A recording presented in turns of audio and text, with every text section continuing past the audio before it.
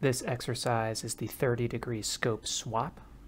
It requires the utilization of the 30 degree camera scope and using the interface on the console to switch between upward facing views and downward facing views.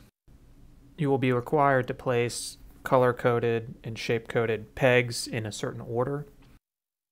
And as you'll see, in order to access the purple pegs on the far side of the sphere, it will require a swap with the camera. The camera will now be looking downwards and your instruments will be towards the upwards top of your screen. Make sure you readjust them and reclutch them as needed. Grab the purple peg and use your camera to give yourself the full view of the purple socket on the far side of the sphere.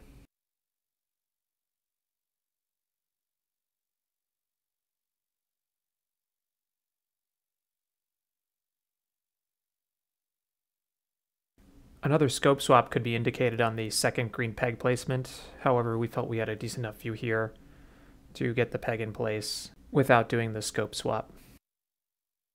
And this speaks a bit to the limitations of a virtual reality simulation in robotic surgery, that some of these exercises can in fact be gamified. As we showed, you don't need to swap the scope the second time in order to complete the exercise. Scoring well on this exercise requires avoiding drops, keeping your instrument in view, and moving efficiently.